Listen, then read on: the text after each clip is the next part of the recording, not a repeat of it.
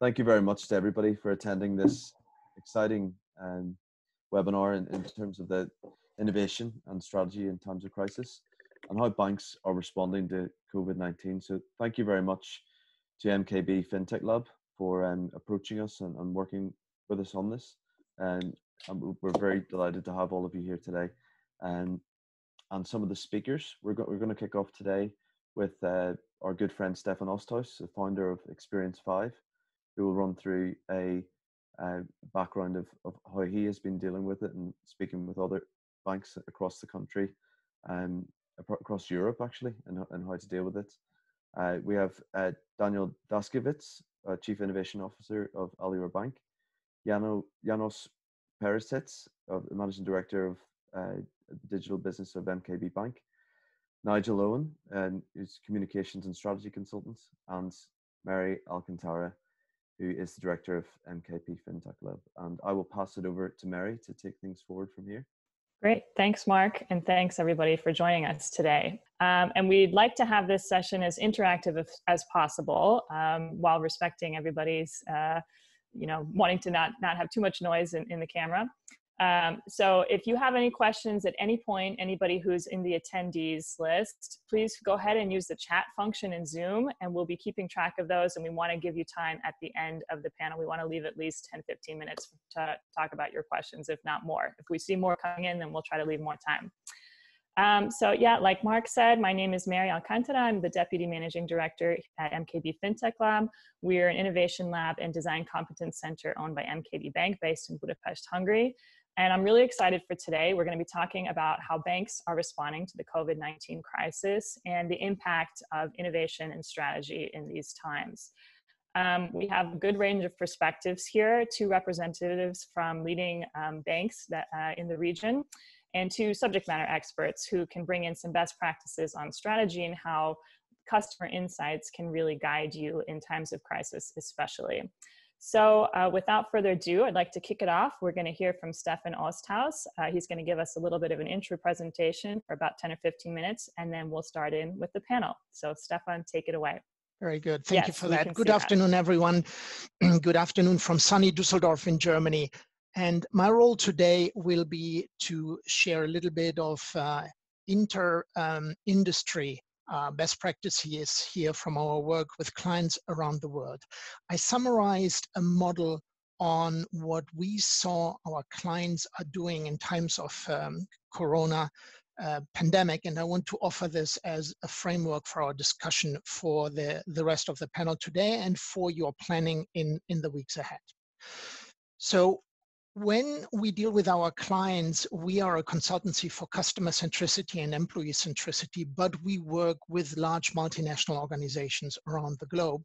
We see them um, obviously be engaged in a contain mode at the moment in the middle of the pandemic. And we see a few best practices there. Of course, we have to comply with new business, uh, with new government regulations coming our way. We have to protect the uh, uh, employees and our customers. We have to minimize the damage, and I will speak about each of these steps on the subsequent slide.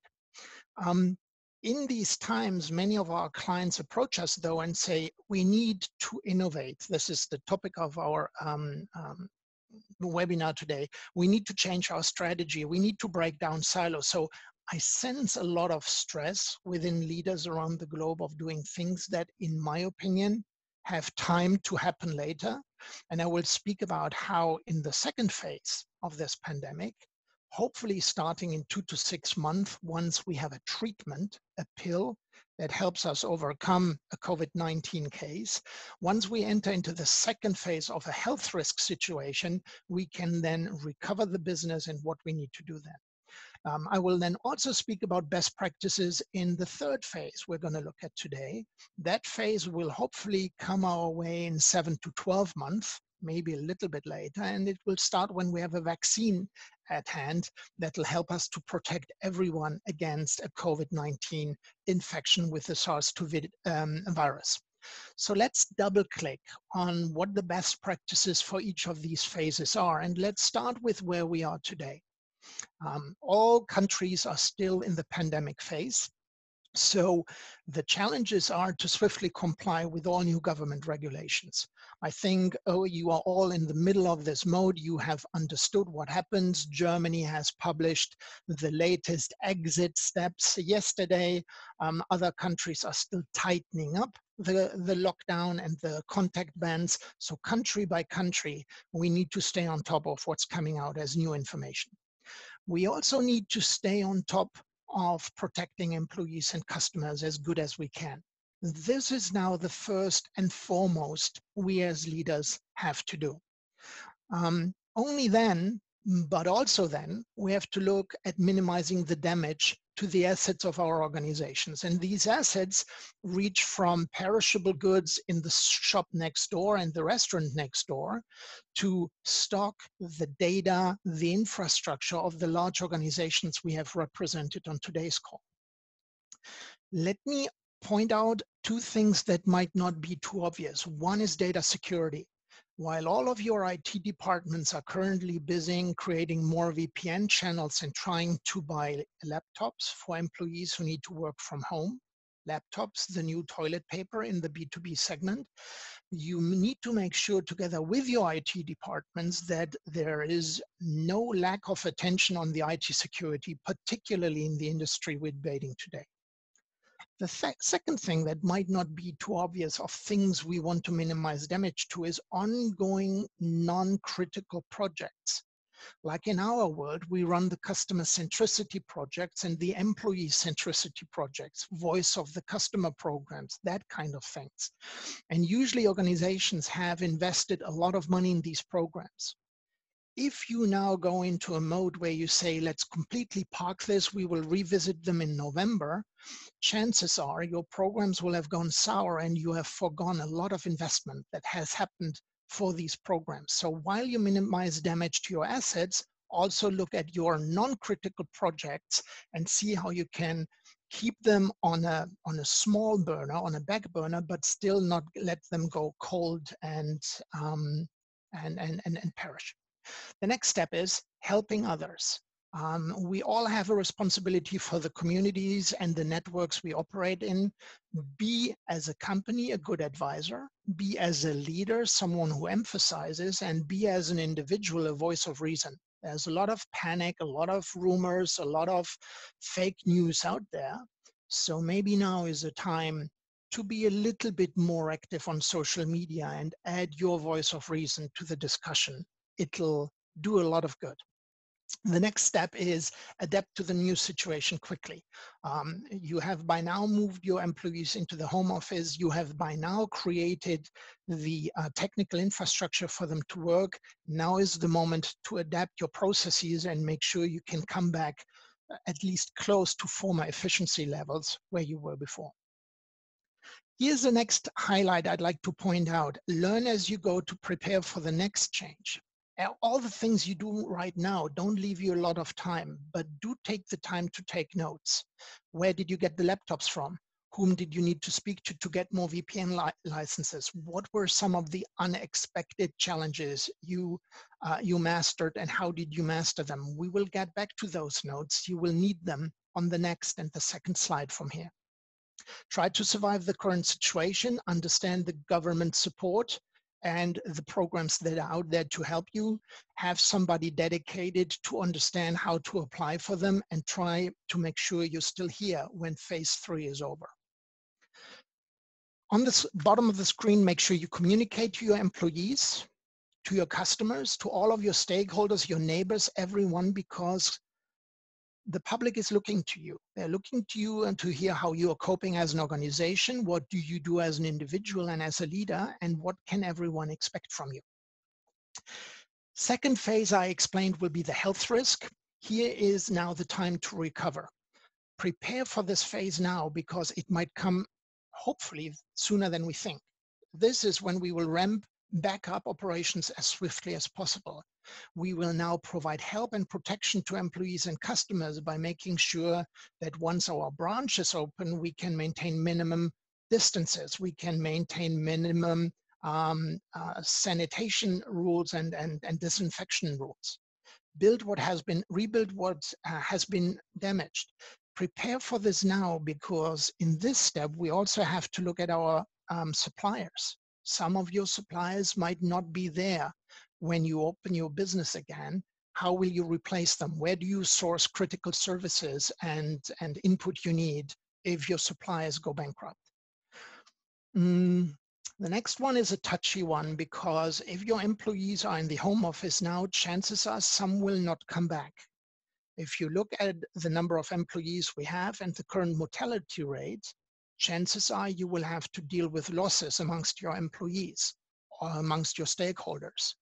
So prepare with your HR teams now how you want to deal with that because employees will closely watch how you deal with it and also how you reward the heroes who helped you overcome the current situation. Prepare for this now and the same as on the previous slide, communicate what is changing. What does hope look like for you? What is your path back to normal? And what can everyone expect from you? The communication bit is very crucial now to uh, instill and maintain trust that your stakeholders have in your brands. The last step then in summary will bring us back into a normal phase.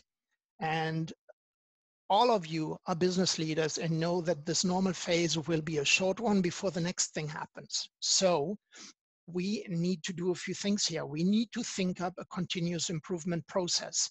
What have we learned from this disaster? How have we reacted? Which KPIs are important for us? And what do we want to monitor in order to be more agile and more resilient against the next thing that comes up? It might not be a virus. It might be labor action in some of our countries. It might be the breakdown of the supply chain in other areas. It might be an IT disaster, a cyber attack, another medical crisis, um, what you name it. Then train procedures, test new ways, imagine scenarios. This is the core time for innovation now. Think up scenarios and get ready for how you want to deal with them and then prepare for the next big thing to happen as good as you can. Um, as you know, life is happening while we're planning it. And again, in this uh, phase, keep the communication going because folks want to know what you've learned. What are you doing to be prepared for the next thing? And how can they, as your employees, your customers, and your stakeholders, adapt? And what can they expect from you? So this is the framework we aggregated from speaking to our clients around the globe and from our own observations. I hope you find this useful. And with that, I'd like to uh, hand it back over to you, Mary, and to go into our panel discussion. Great. Thank you so much, Stefan. That was a really great overview. I think there's a lot of knowledge there. Um, and I'm excited to dive into that a little bit more and hear from our panelists how they've already started to apply some of these things. Um, so I just sent a message to everybody in the chat. If you have any questions throughout the course of the panel, please go ahead and leave them in the chat and we'll try to get through as many as we can near the end.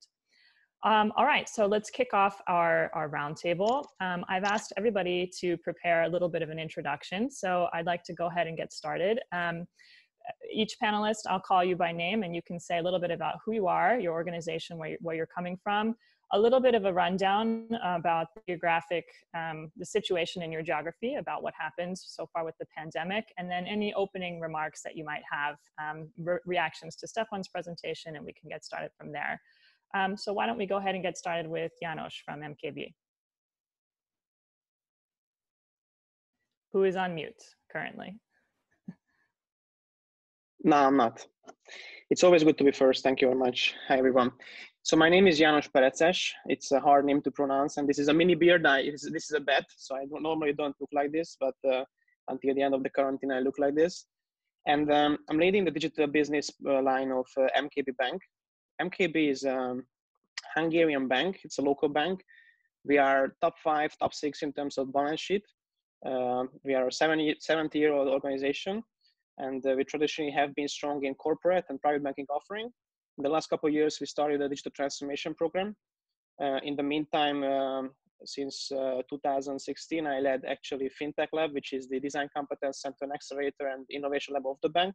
But I switched roles uh, as of this February, and uh, now I oversee, I would say, a pretty critical part of our retail business. Uh, so our team represents retail business development, call center, marketing, and also digital channels and capabilities. So this these times uh, are really interesting for us, and uh, to be honest, the last couple of weeks uh, has been gone like um, like two years of work actually, and the like development and um, actually reacting to the crisis. In Hungary, the situation I would say started with uh, closing down the schools on uh, 13th of March. Since then, we went all remote. Most of the corporates in Hungary uh, did the same. We are actually the first bank to do it uh, for the whole headquarters. So we have been working from home, Miri and I as well.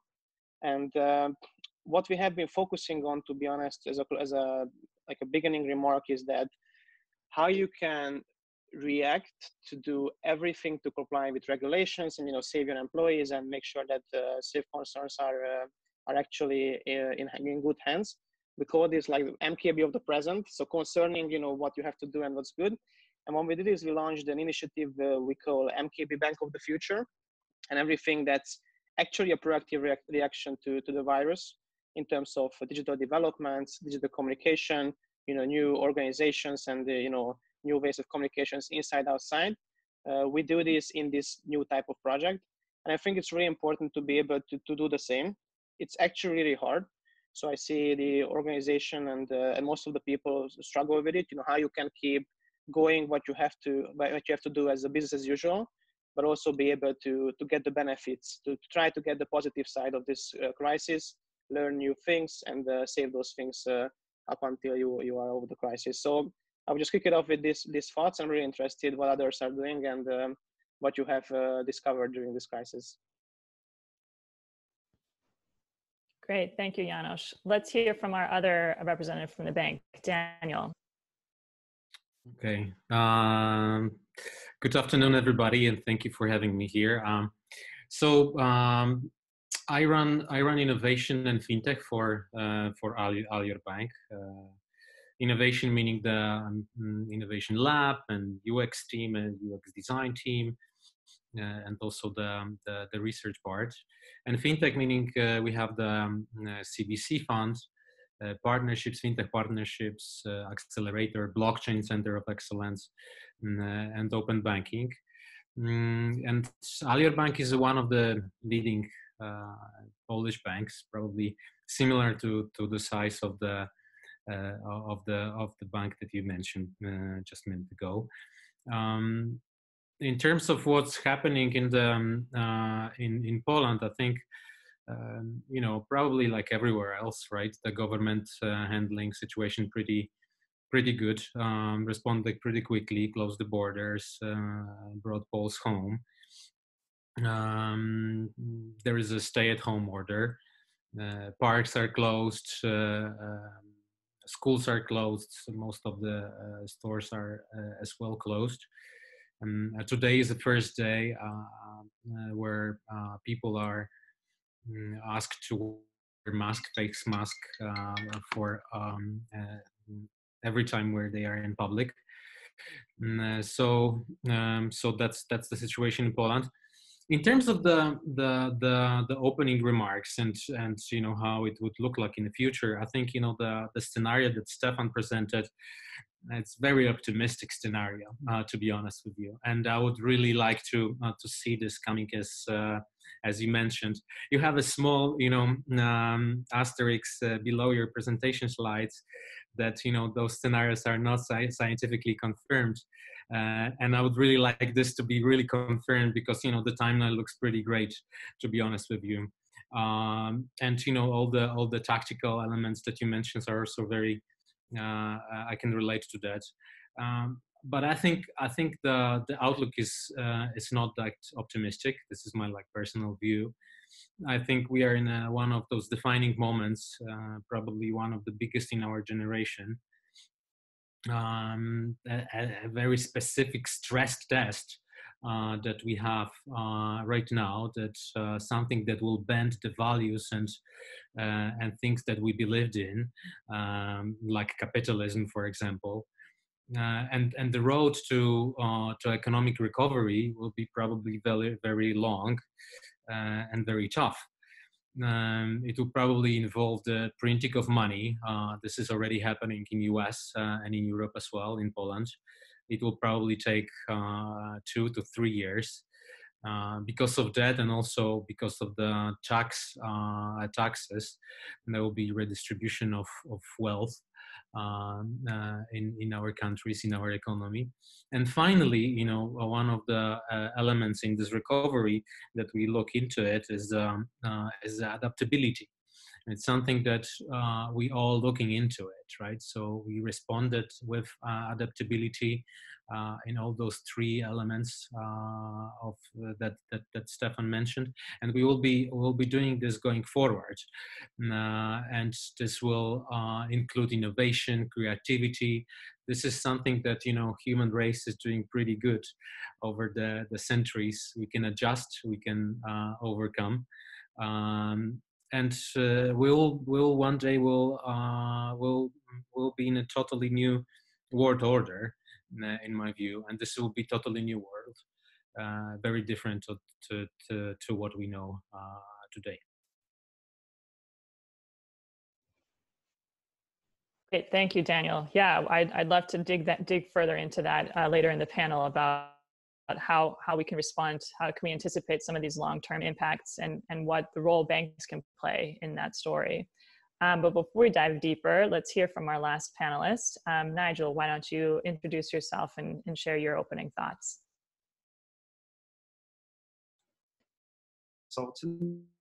um, I was formerly uh, head of PR at the Royal Bank of Scotland, which you may recall was pretty famous in the UK for being one of the world's biggest banks and then a government bailout. So from that point, it was in a quite a long period of sort of perpetual crisis. So had a lot of experience in managing crisis and how banks respond to them. Unique experience because it was just crisis after crisis. So it was good to see how a bank can evolve and get better and better at that. Uh, currently based in the Middle East, based in Dubai. Um, still working with banks. I work with a bank in Saudi Arabia. Um, and I work with quite a large uh, global tech company that's based here called Reaktor, a Finnish company in Dubai, which is good because that gives the um, quite good insight in the do's and don'ts of innovation as well, and, um, how that works with big traditional companies like banks. And something this situation we're, we're all in now is showing about digital capability of banks um, is really really important. It's something we're seeing in, in, Saudi as well. It's something that's I think one lesson I think we're all learning from this is uh, if you've got digital uh, plans to invest, is probably to invest a little bit more from this. Um, in terms of the situation here, uh, we went into, we've gone into quite a strict lockdown here in the United Arab Emirates. Very similar situation in Saudi as well. And by strict lockdown, um, this means you need a permit to leave your house. So, from a bank's perspective, this uh, means that it's down to a very skeleton service of critical workers in offices.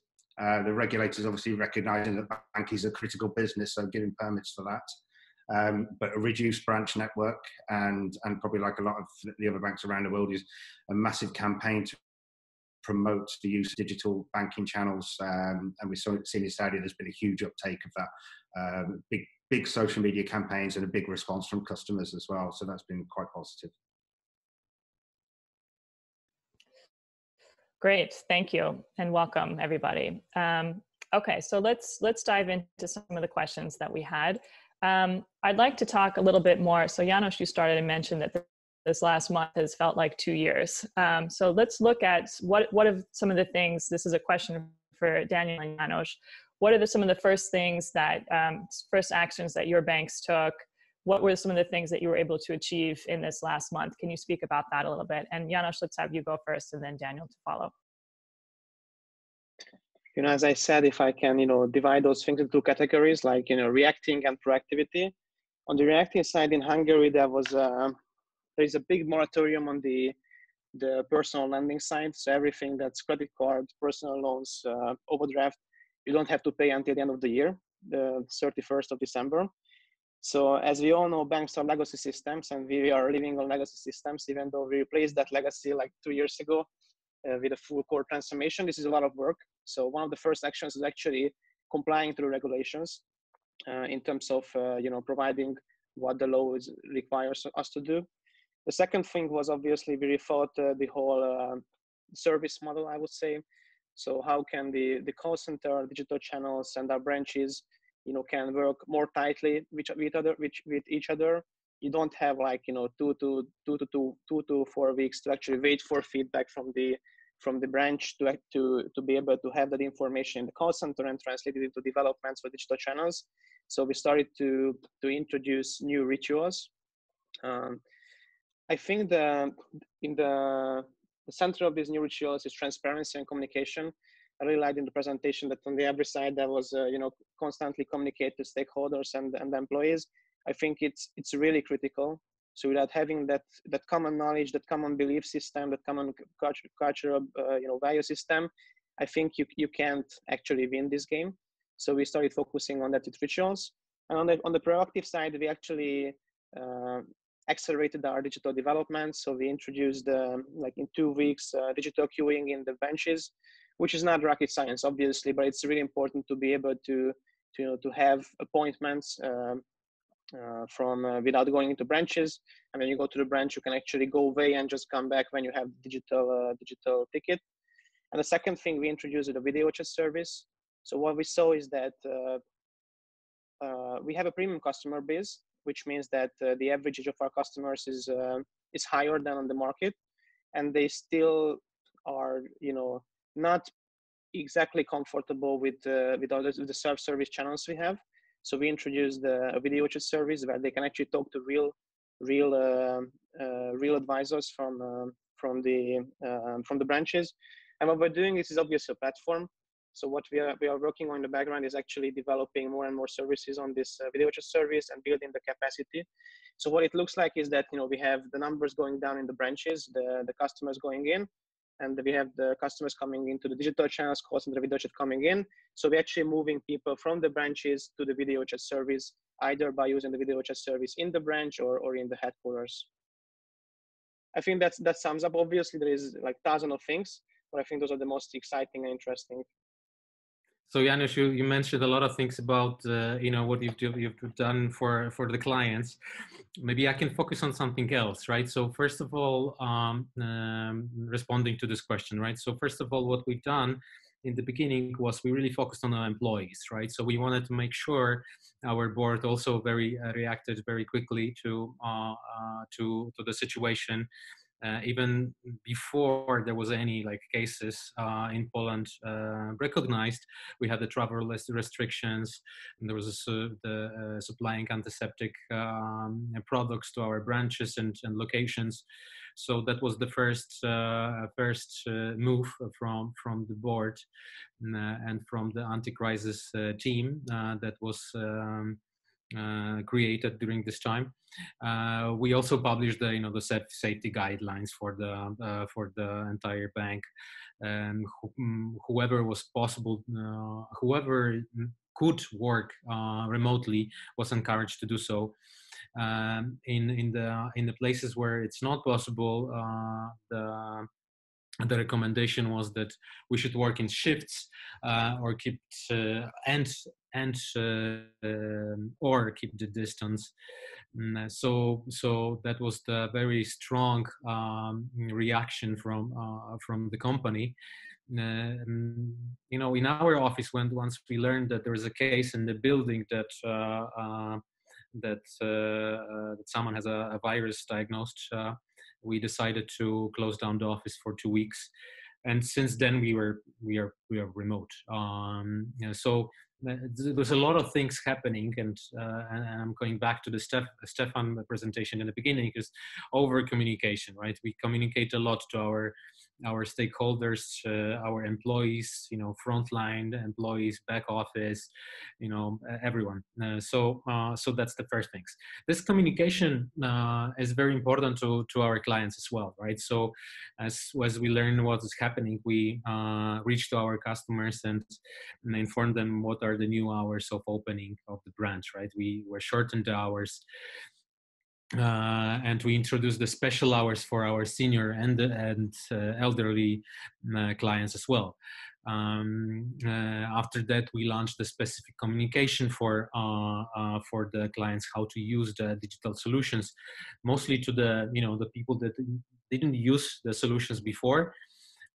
to learn to, to teach them how to how to use the digital or remote channels uh, and it was a difficult and really busy time. I mean, uh, um, and you know, also taking into account that there was a lot of misleading uh, and fake news information on social media, right? Uh, we wanted to make sure that uh, uh, we are a safe pillar in this in this turbulent times. Um, so yeah. Great, thank you.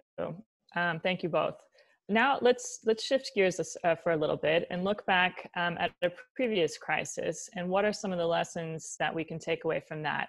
Nigel, you were a part um, uh, of dealing with the 2008 financial crisis and the fallout um, at RBS. What are the, some of the things that you learned there that are applicable to, to today's crisis? And how do you, I remember you mentioning to me in our conversation that one of the first things you have to do is just figure out what's the right thing to do in this situation. Could you speak to that a little bit more?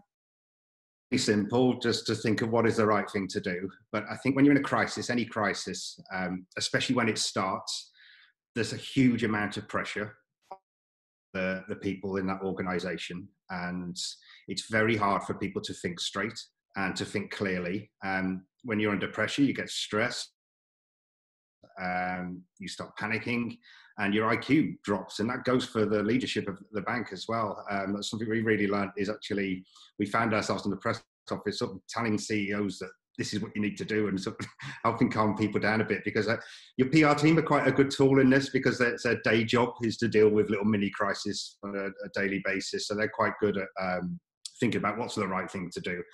But I think um, having good tools to listen, um, we mentioned there in the early presentation about sort of engaging customers. You have social media channels where you have your customers on there and they're incredibly valuable.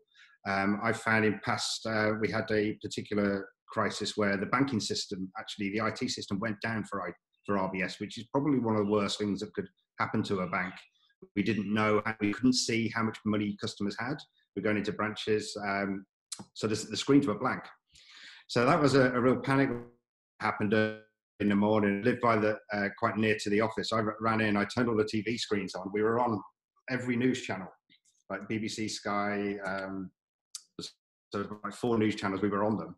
Uh, being discussed, and the social media started to tell us what was going on before really the bank could get itself together and get the right people around the, ta- around the table to work that out. So I think having really good tools to listen on social media, especially at the start of a crisis when things are really sort of like a really fast moving, is it allows you to see for trends. Now, there's always going to be people complaining about banks on social media, but you you want a tool that be able to sort of push that noise aside and see what is emerging now as a trend because it will be no coincidence that some customers start saying something new together that means something is going on and they might they will tell you the truth on so, social media from your customers so getting a really good reporting tool that actually cuts out the the BAU type of social media reporting something that's going to work for your CEO so you can tell them look this is a problem or your crisis management team You can clearly tell you now this has happened in the last hour or this is where there's some customer pain or clearly some uh, system here isn't working. That's really really important. And similarly as, as well for i mentioned pr is having a really good news feed that you can share with your exec as well. So making the right decisions is, is sort of based on knowing your audience. So social media and, and pr like your meet your customers go to the media to complain but they're also key stakeholders in your reputation and the same with politicians; they will use the media, or they will be um, um, they will be making comments about you as well, and they've all sort of got your reputation in your hands here. So in your crisis mode, especially something like this, um, where it's there's a big economic impact, then banks are very much part of the story. So whatever play you make, or even if you don't make a play, can have a big reputational impact. So I think um, it's good to sort of really think, really think clear, and to think uh, what is the right thing to do is well, is how can we help? What's the best way we can help? And certainly, I think we learned from the past is you can't go at this sort of piecemeal. You have to go really big. And if you go, here's a little bit of help, we could probably really do more, but this is easy, let's do this. You'll get called out for it. Your call you out for it, um, especially in the UK where you've got a very fierce media where banks are really not liked. Uh, you certainly get they're, they're waiting for you to make mistakes and they'll call you out on that stuff. So I think yeah, and also um, empathy is really really important. And and again, ha- having these tools that listen to the outside world keep you connected. That because in a crisis, the first response is to panic about okay, how does how do we keep this bank on the road? where we can't get people into the offices and stuff. So yes, you've got to look at that, but at the same what's being said about you. And there's at any time there's a conversation going on about you on social media but in a crisis a, a much bigger one.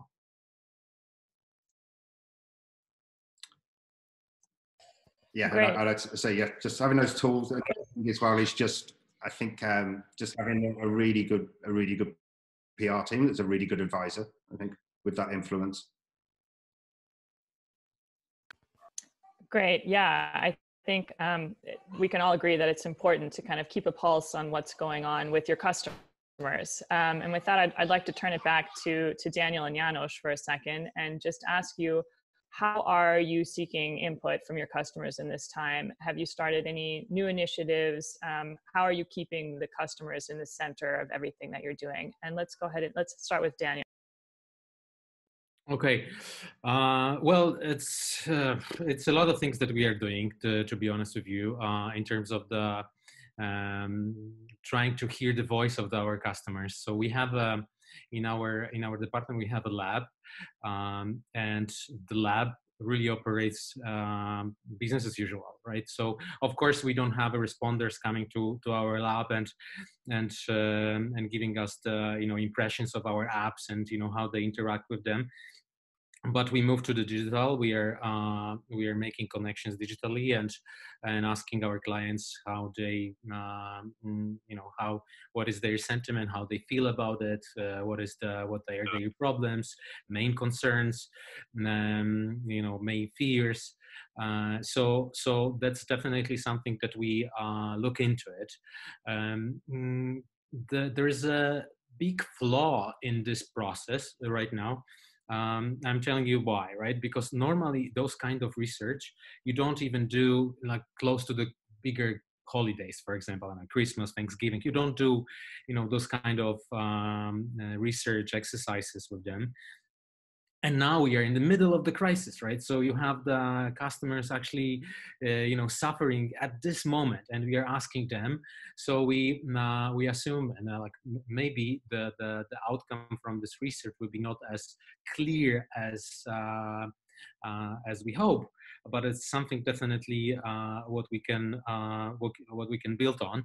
As an and, and as a response to that we are launching the special initiative of our accelerator uh, we are launching the fast track uh, of this accelerator partnership program where we will be looking for the startups and partners and solution providers that can um, quickly, uh, fast, uh, and on a scale um, help uh, help our customers and and create impact.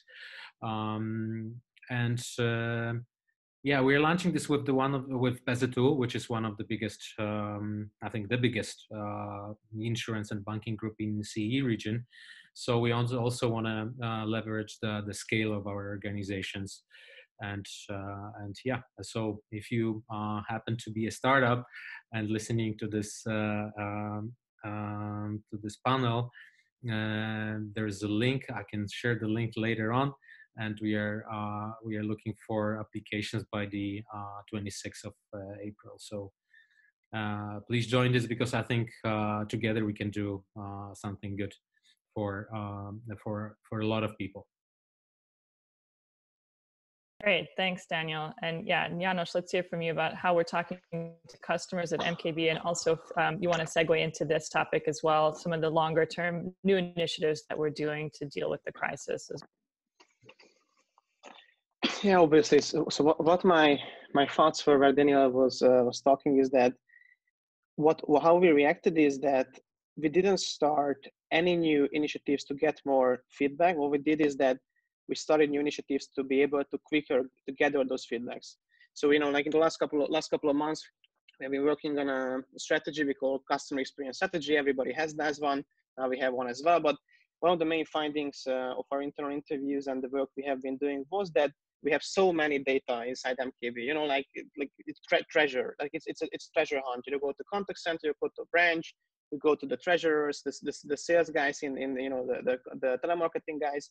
And what we had, what we started to focus on actually before the crisis and in the crisis as well is to to be able to quickly aggregate that data and to actually make decisions. You know, like in a in a quicker sense and not come up with new methods or, or new new tests or usability tests, things like that, but actually be able to to gather those data uh, quickly and uh, aggregate that quickly and then make decisions and then build that in into the next deployment, for example. Like uh, I won't go into specific details, but you know, like it, it's not always proactive uh, building up stuff, but sometimes you realize something doesn't work for the customer in your mobile app, and then you have to react. You don't always have to build something new, but actually, you know, like make something uh, that you made a bad decision a couple years ago. And your second question was, what, what are the, some of the longer term projects? Well, to be honest, there isn't a lot of new projects or things that we're working on. What we're trying to do is, uh, what we have been struggling with in the last couple of years is actually doing everything in projects and not as business as usual. So what we are, what we started to focus on uh, since February, since uh, we have this new department and then the, the area in the bank is how you can make projects a new business as usual. You know, I don't want to go into details of the agile and new way of working because obviously everybody reads that, everybody tries that, but we're also trying to, to implement some of the best practices and um, actually let the teams, the team of teams come up with what we have to do. We help them, you know, like with the common knowledge, the common belief system. What we try, what we're working on hard is to actually, you know, make them able to make their own decisions. Obviously, working on some de- developments on mobile application, we're working on new features for the video chat, but there is nothing uh, rocket science here. You're just listening to the customers and then, you know, have the teams uh, work on things that will actually make them happier. So Janos, I, I can if I can add to that, you know, the, yeah. when you were talking about the long term, I was uh, start to think, can we really think about long term in those kind of situations? No. Right. We are in the middle of some very weird public, you know, experiment when uh, there's no clear outcomes, right? So uh, I think we should, you know, act on whatever is necessary today and help, you know, the ease the burden that our clients have. And then once we are in the third phase of uh, of this uh, recovery, then we can think about uh, new order. But I think now it's just it's impossible to think in the really long term. Even midterms seems to be unrealistic right now. I think what we can focus on, have to focus is actually like you know keeping the talent, and not just not, not just healthy because that's that's that's number one, but obviously keeping them happy and motivated and uh, you know like because when there will be a time when we can think more than six weeks and then they have to be ready. One of the things actually uh, about the previous question of Mary about the crisis, I was just an outsider. I was still in university when the crisis hit in 2007, 2008. But what I see from our bank and some of the banks in Hungary is that it's not actually what we can learn from the last crisis because it's completely different, but how can we actually forget the things that we learned in the last 12 years, you know? Because there are some reactions that because, oh yeah, because in the last crisis, so that's because you can't do that because that's the lowest since the last crisis. And what we what is really hard is to unlearn those things because learning new things is really easy and learning the, the, the, the old things is the hard part but it obviously there's lot of things to learn but what i'm learning is that unlearning is the learning here now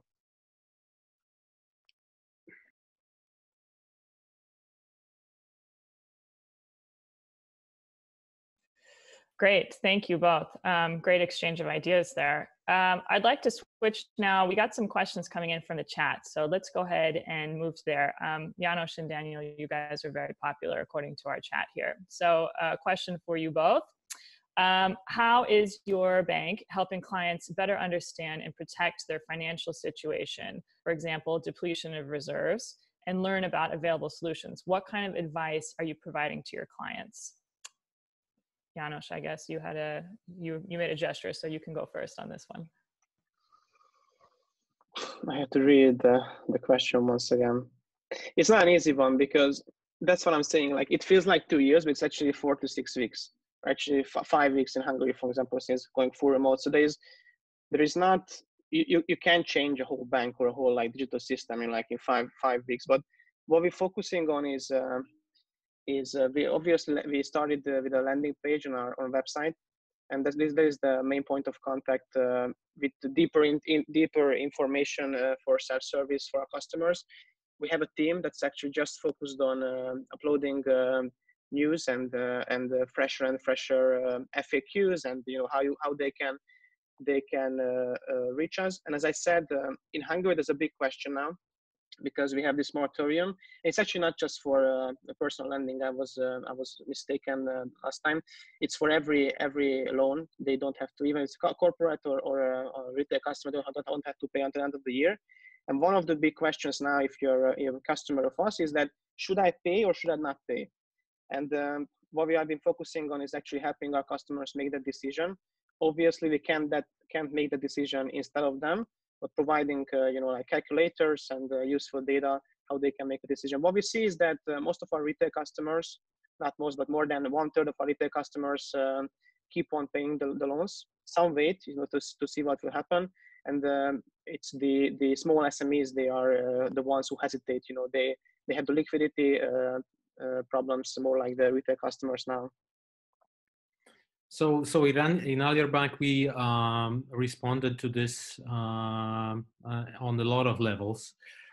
Mm, we also have a credit moratorium for our clients. Um, but, you know, I think banks and our bank as well uh, will have the crucial, really crucial role in a distribution of public funds.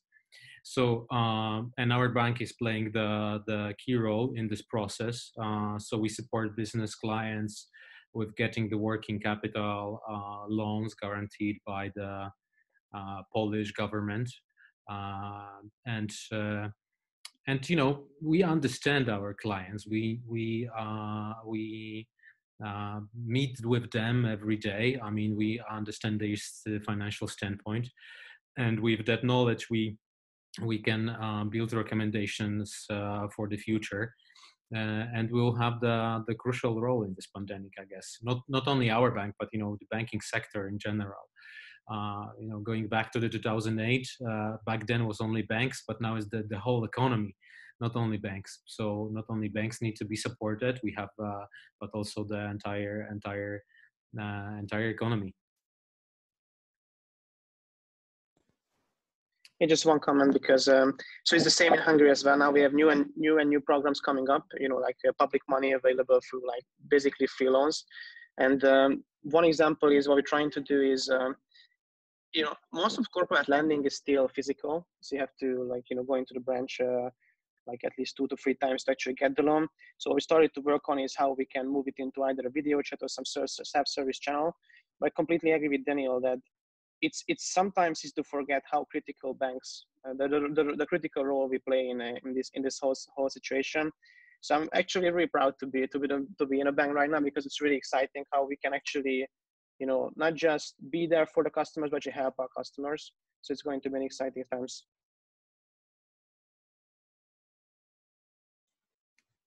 Um, great. Thank you. Um, nigel i just wanted to check in with you if you had any thoughts on that question as well, because you have experience working with a few different banks um, about just kind of generally the role banks can play in, in this time and any, any thoughts there? I think it's, uh, well, it's a massive economic problem. So the banks are like absolutely crucial uh, to this. I think um, it's a very difficult job for banks now. I think uh, it sounds like most banks now have done some sort of stimulus package it's about now, like I said before, is watching to see what is the next issue um, and thinking maybe on a like a monthly basis. I think the real in a crisis, many of the crises I've dealt with before, and, and same here is a lot of focus goes on small and medium-sized businesses, obviously, because certainly in the UK that's a big backbone of the economy. But anywhere they hold it, they create and hold a lot of jobs. So I think um, focusing really hard on them is really important. So some of them might be fine for this month, but next month, are they going to be able to survive? Uh, I mean, in normal times, good businesses fail because they simply run out of cash. So um, we, this is probably like a real concern here. Is this, and then obviously that drives the unemployment up. So it's a case of really maybe going through really diligently uh, how you support an SME and looking at are there are we doing absolutely everything we can within our power to support them? Are we making, is there anything we're doing that's making life harder for them? Um, and just really take a really honest look at stuff. And the same obviously for individuals as well. I think banks have a, a big role here now to do what they can to try and give people and businesses as much financial peace of mind as they can. There's uh, certainly, I think, in this part of the world where we've gone into a lockdown, and we've gone into that quite a while away. There's having quite a psychological effect on people. Um, people are really worried about how long this goes on. And one thing the bank can do is make the money troubles uh, uh, less, one less thing to worry about. Great. Moving on to the next question from the audience. Um, Janos and Daniel again. Have you seen a large uplift of digital channels, users who weren't using them before? Have you had to change how you operate um, for legal entities or have their requirements changed? Daniel, you're up. Reading the question again.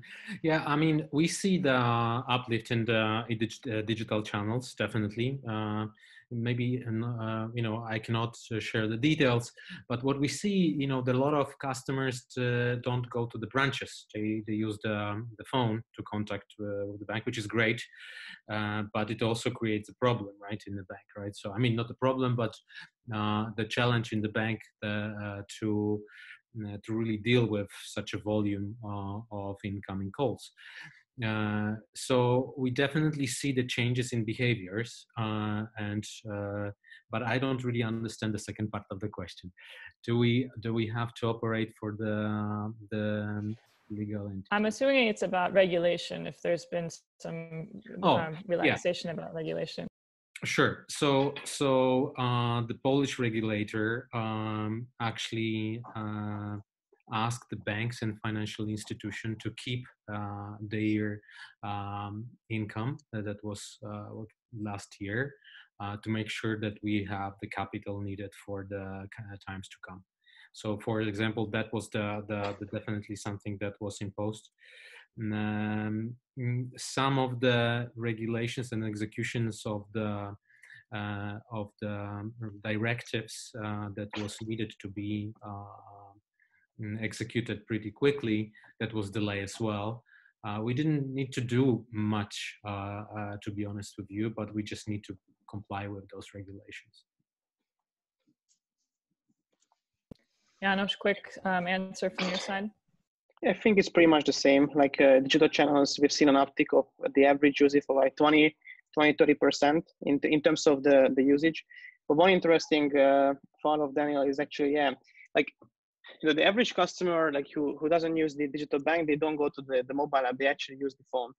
And we also have some challenges i would say you know like moving people into the to the call center to actually be able to answer those calls. And um, the reason i'm mentioning this is that this is a pretty good example how you have to be able to break down those silos. So what, what we did as i mentioned is we moved branch officers into into the call center.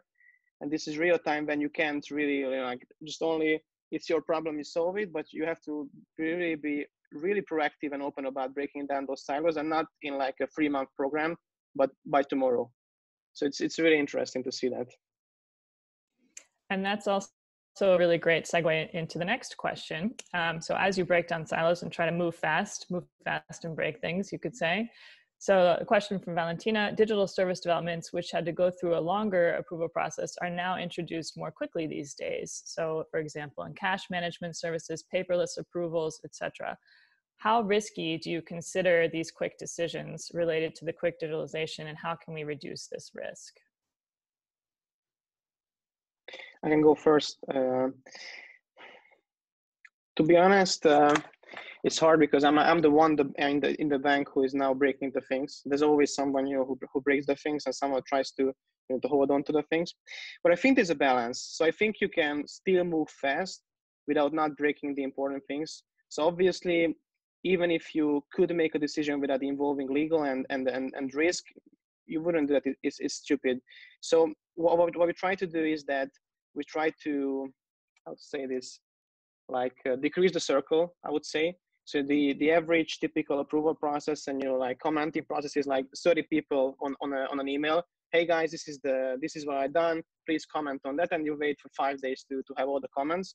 And we we try to introduce like rules rules. You know, like only one people from legal, only one people from risk, and then if they are actually able to make the decision and they they're brave enough to make a decision, then you come more forward.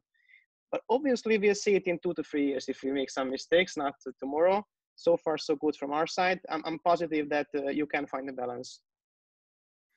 Uh, very quickly, because I think we are running out of time, probably shortly. Um, um, I think you know security is one of the things uh, why customers uh, trust banks, right? And this is the the trust is the the biggest currency that we have.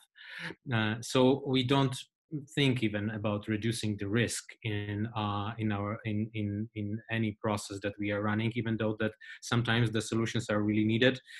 Um, and uh, there was a void there's a void to do it. But um, mm, but what is interesting to see you know how those projects that we have somewhere in the pipeline came up to the top of the list and once you know everybody is working in the organization on, on those projects how quickly they can turn out to be products um, and available to the clients. And just recently we launched uh, the verification uh, method the verification, verification uh, solution photo id for our clients so they can uh, um, do remote um, activation of, of, of the uh, of the channels and solutions so, uh, and we are working with our portfolio company, our CVC portfolio company, Autenti, to launch the uh, digital signature and process automation uh, projects as well.